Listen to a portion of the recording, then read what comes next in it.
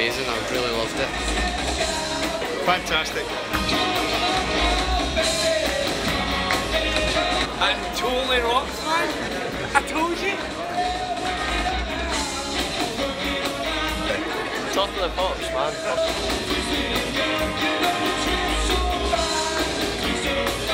It's brilliant. It's fantastic. Brilliant.